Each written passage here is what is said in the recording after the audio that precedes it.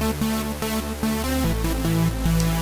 and welcome to the second week of Maths Challenges. This challenge is for years 1 and 2.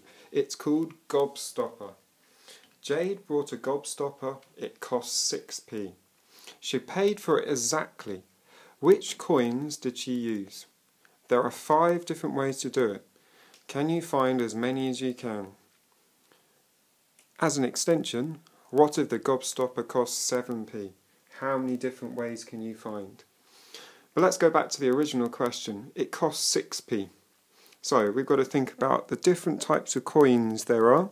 So there's a 1p coin, 2p coin, 5p coin, 10p coin, 20p coin, oops, 50p coin, a one pound coin, and a two pound coin.